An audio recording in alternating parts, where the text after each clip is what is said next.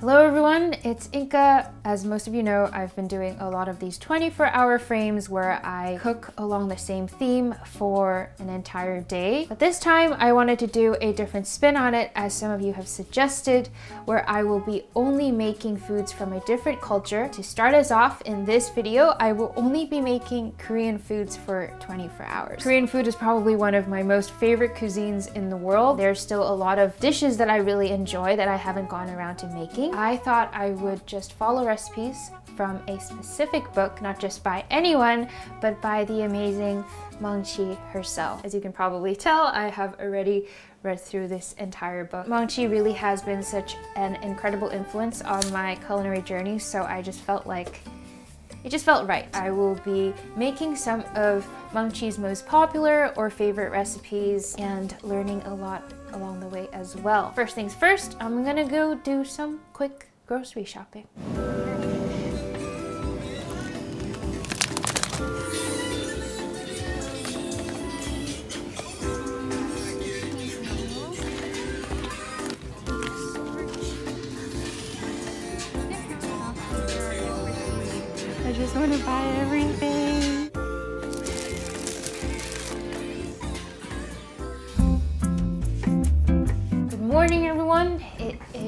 Is pretty early in the morning.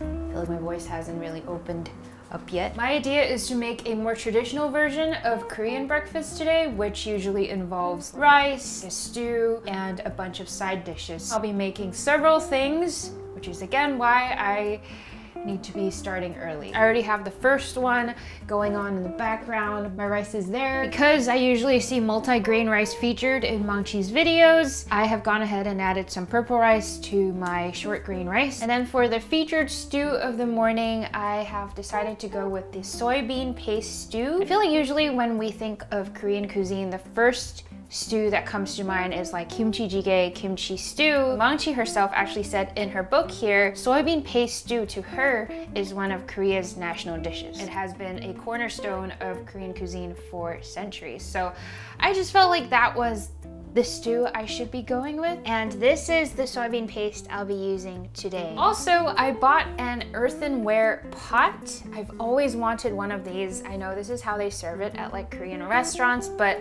what's really cool about these pots is that they retain their heat really well. I'll be using this to make my soybean paste stew. Here's what I have for ingredients. Zucchini, potatoes, garlic onion, scallions, jalapeno. Firm tofu right here. The recipe explicitly says medium firm, so I'm going with this. And of course, I have my soybean paste here, some gochujang, which is hot pepper paste. I specifically bought the hot spicy one. Last thing would be this beef brisket. First thing I'm gonna do is actually go ahead and heat up my earthenware bowl over the stovetop. Over here, I'm going to start slicing up my beef and my garlic. I believe this is mainly to give the stock a little bit of that like beef fat and like beef flavor. Dice up my garlic as well. Now I'm going to go back over and fry this up. Adding in my garlic, my beef, she wasn't kidding when she said this earthenware bowl gets real hot because it definitely does. Add in my water, let it cook for a little bit. So now while I'm waiting for my beef and garlic to cook, I'm gonna chop up my vegetables real quick here so then I can just toss them in once that's done. And I'm realizing there's like quite a lot of vegetable, so I looked at the recipe again, realized this recipe serves four people, so eating Korean foods for a whole week, why not? Add my vegetables in. We're also going to add in the two paste. This is the beautiful soybean paste. It looks a lot like miso, which makes sense since they're both made out of soybean. Red pepper paste. This is the staple of Korean cuisine. So I'm gonna go ahead and add this and the gochujang. Close this and let it cook for a while again. So while the stew is cooking in the background, I am going to get started working on of my side dishes, which is also known as banchan and it actually has its own chapter here in Maangchi's recipe book. People make like!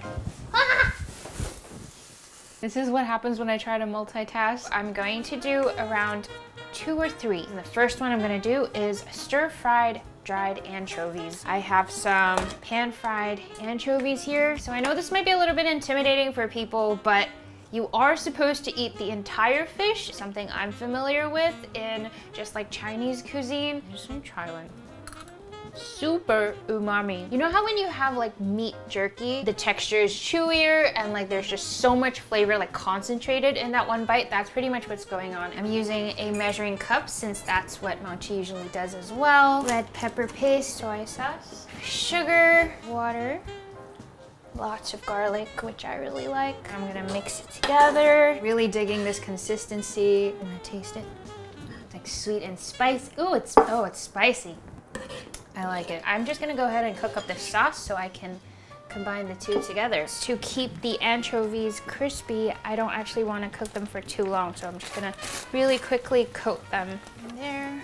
I'm gonna pour this now back in the bowl. Look at that. You can definitely smell the anchovy, but also like the spice of the red pepper paste. The overwhelming scent is still like sweet. Last two steps is to add in a bit of sesame oil and sesame seed, and that's it one side dish done. Next thing I'm gonna make are rolled omelets. Probably one of my favorite ways to enjoy eating eggs. Today I'll be making the Korean version, or uh, Maangchi's version specifically. I already have my vegetables cut up here. Red pepper, green bell pepper, and onion. Crack my eggs real quick.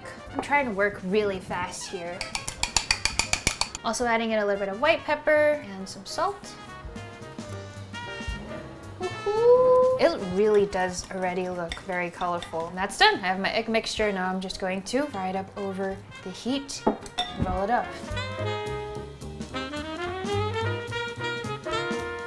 Adding in the last of the tofu, scallions, and jalapeno Now I'm just gonna let this cook a little bit more until the tofu is soft. My side dishes are ready, so I'm gonna plate that up, and then I am finally ready to enjoy this huge breakfast. I say breakfast, but this honestly feels more like a lunch or dinner. Just feels so well balanced already. Watching this bubbling over the stove top was incredible. There's like so much vegetable and meat packed into this and tofu. Who wouldn't feel ready for the day?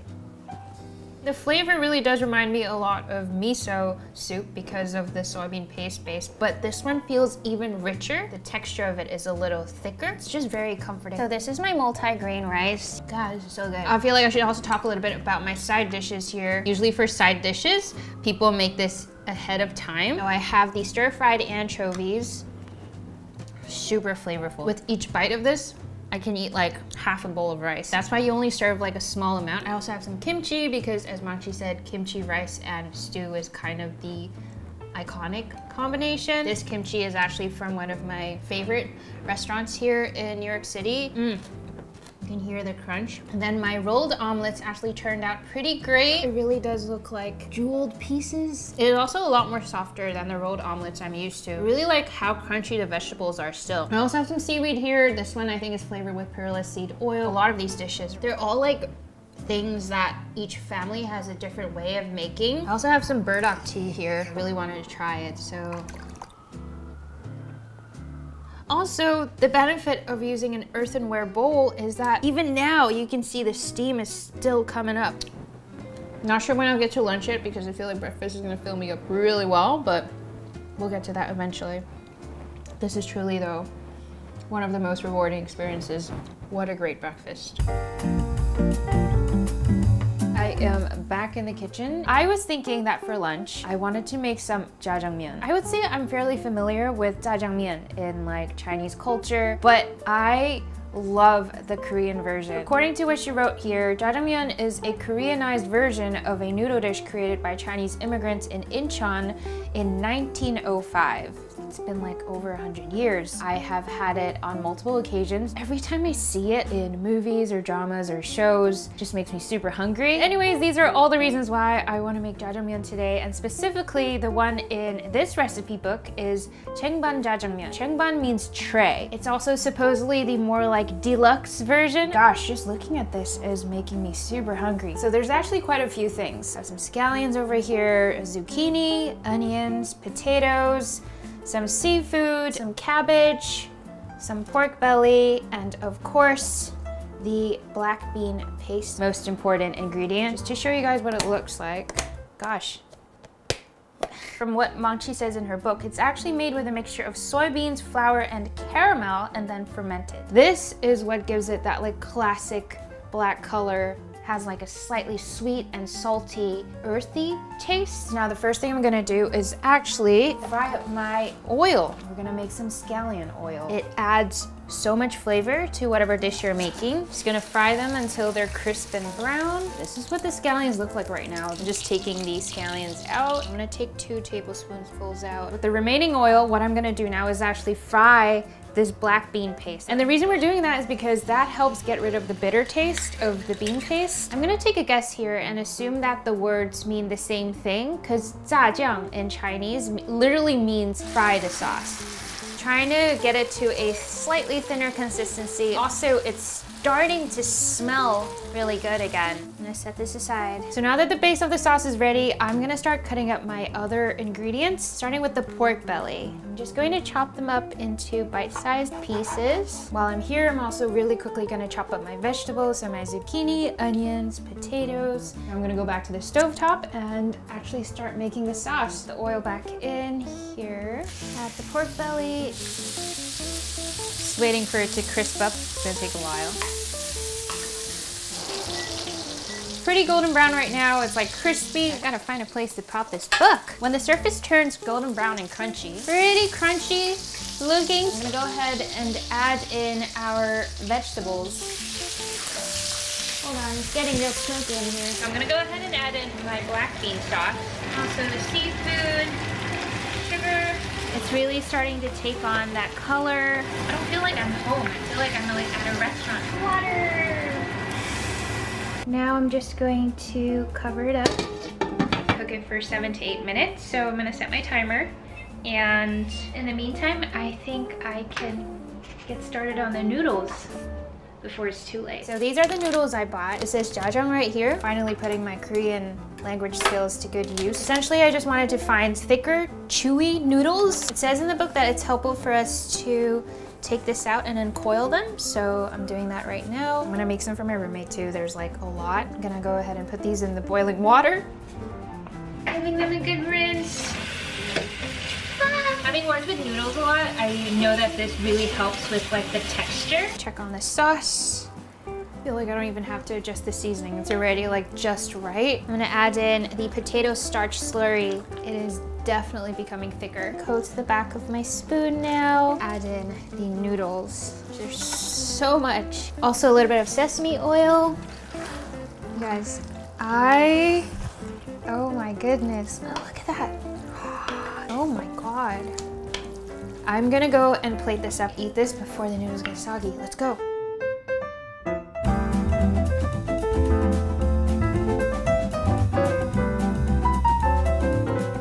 Look at these noodles. It smells and looks just like something I would buy outside, but like even nicer, you know, bits of pork belly like this. I'm gonna eat before saying anything else.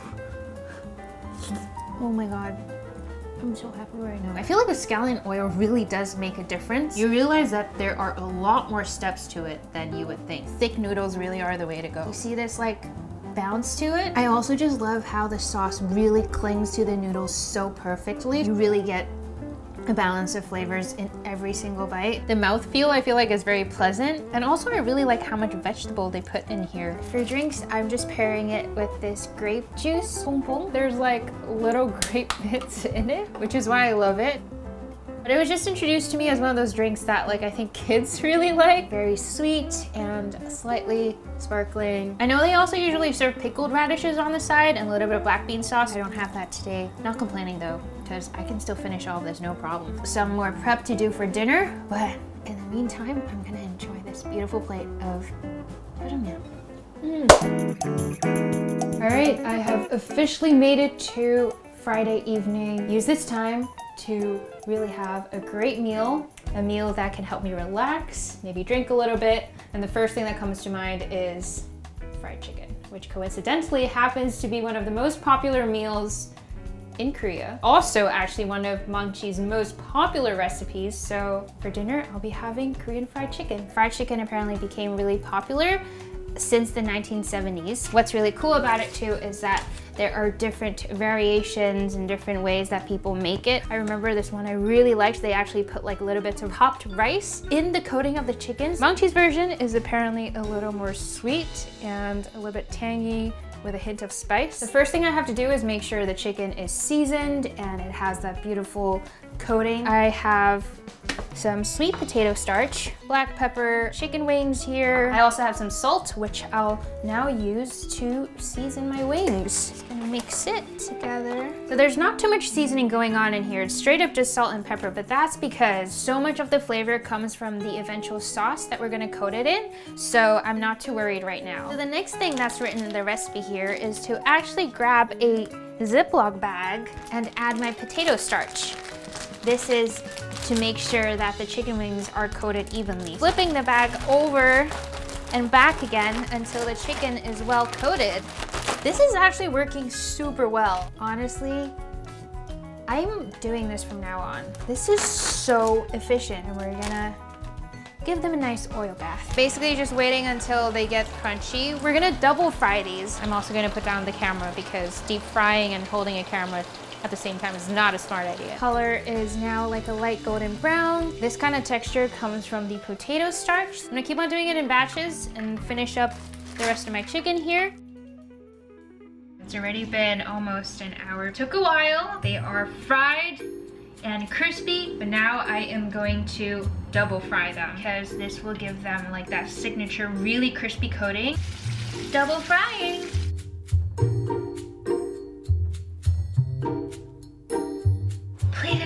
Chicken. They're still bubbling and they're still very hot, so I'm gonna put this down. One more thing that I have to fry up is actually peanuts. And that's about it. Now I'm gonna move on to making the sauce coating. It's a mixture of rice syrup, soy sauce, brown sugar, white vinegar, and mustard. Add a good mix.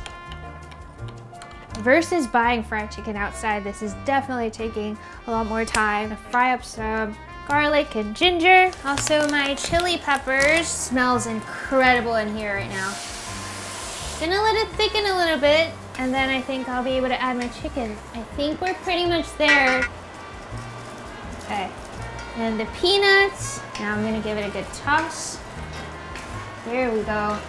Even as I'm tossing this, I'm getting like really excited. I know I got like really tired from all the frying, but now I feel like rejuvenated. Definitely getting stickier though, so I'm gonna sprinkle on some sesame seeds. Look at that! I cannot wait to eat dinner.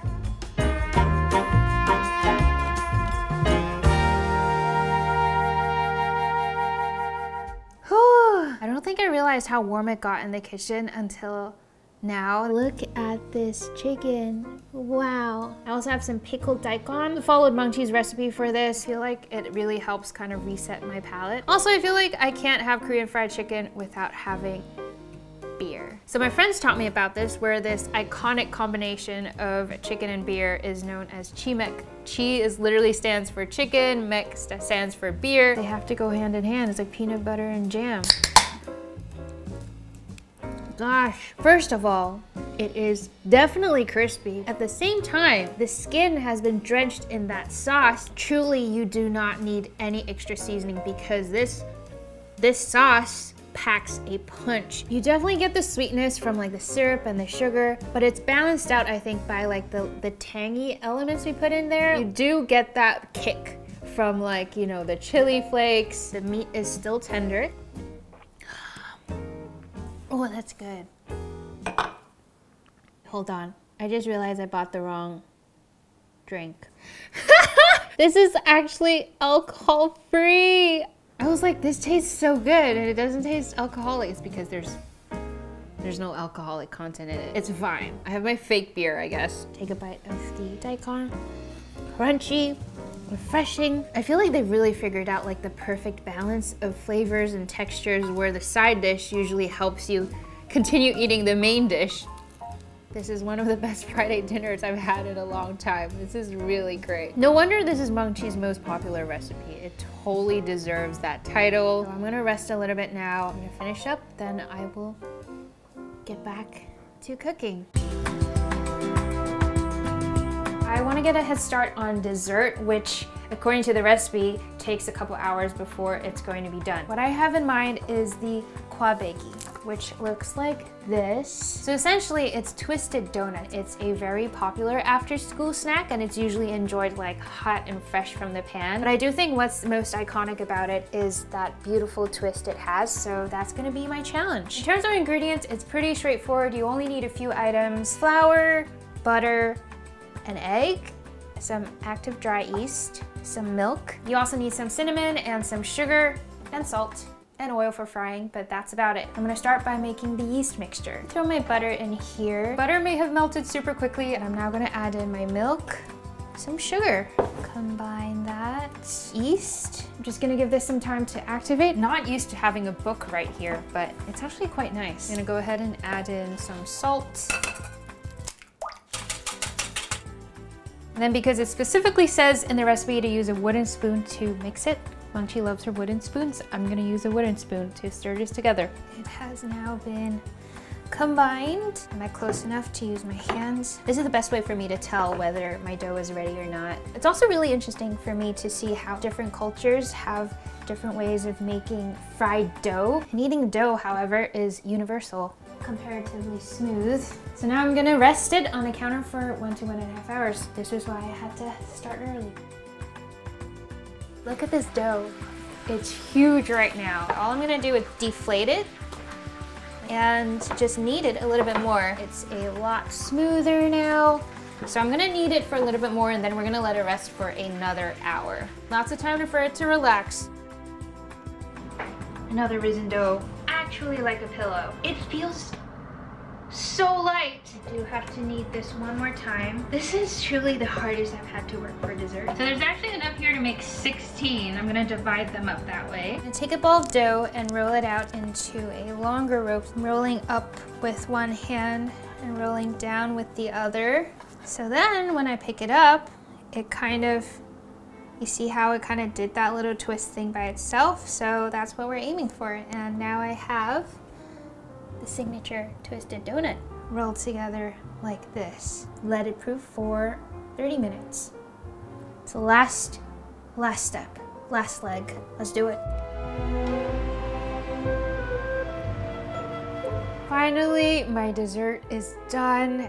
Hot right out of the pan. My fingers are actually burning a little bit. It smells like a churro almost, I wanna say. I think it's just because of the cinnamon sugar. It's like a sizable amount. I mean,